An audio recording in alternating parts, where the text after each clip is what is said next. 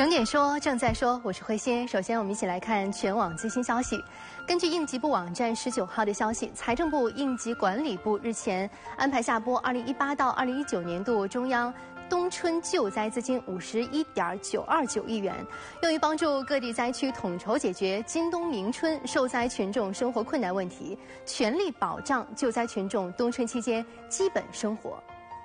我们再来关注十九号国家统计局发布的数据显示，十一月全国城镇调查失业率为百分之四点八，比上月和上年同期均下降了零点一个百分点。那一到十一月全国城镇新增就业一千二百九十三万人次，同比增加十三万人。今年呢，全国城镇新增就业一千一百万人的目标任务已经超额完成。我们再来关注财政部十九号在官网公布的二零一八年十一月地方政府债券发行和债务余额情况。那数据显示呢，二零一八年十一月份全国发行地方政府债券是四百五十九亿元，呃，十一到十一月累计啊，全国发行地方政府债债券是呃四。四万一千零一十四亿元，截止到二零一八年的十一月末，那全国地方政府债券的余额为十八万两千零九十三亿元，控制在全国人大批准的限额之内。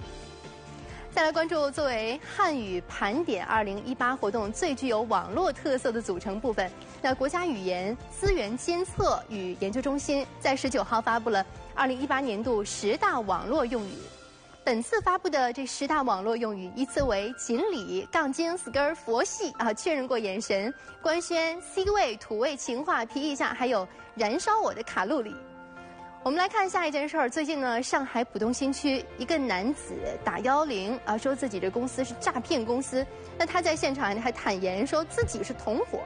那经过了调查，原来这诈骗团伙啊是分赃不均，起了内讧。那员工举报了自己的公司。民警顺势呢，将该团伙的两个窝点给捣毁了。那具体情况，我们一起进入到今天的微视频。幺幺零报警的。对。骗了十万块。不是，我跟他们是同伙。啊？我是同伙，从诈骗公司。小伙子报警称被骗，还坦言自己是同伙，这事儿让民警有些吃惊啊！这是大义灭亲呐，耍起狠来连自己都举报啊！民警一查，还真是个诈骗集团，顺势就捣毁了俩窝点啊！他们正在一个参加一个培训这样的情况，培训就是，呃，教你如何去打电话告诉人家如何推销啊这样的手段的这样的一个视频。分赃不均引起内讧，来呀，互相伤害呀！接下来，这位胆子才叫大呢，连警察都敢偷。民警医院救助醉汉，不料警包被小偷顺走了。那我们的包呢？据说小偷看见这包里的手铐啥的，都吓懵了。不过这一切都晚了。自己选的手铐戴着还合适吗？我知道下面这名男子的做法肯定是不合适的。男子试戴金项链，趁人不备，拔腿就跑。这是抢劫呀！真以为犯了法能跑掉吗？别天真了。可不，经过一番追逐，男子被大家撂倒了。他的贪心终成妄想。接下来，这名小偷的体力可就比刚才的那位高多了。嫌疑人当天晚上偷了八十二组电瓶，每个电瓶最轻的大概二三十斤，最重的大概要七十多斤。每个都自己搬上去的？对，你搬得动的？慢慢搬的。